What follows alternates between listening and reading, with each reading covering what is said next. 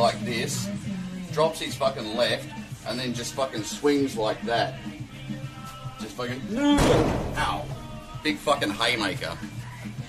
All Tyson's got to fucking do at that point when he's swinging his right is just fucking step in and Tyson.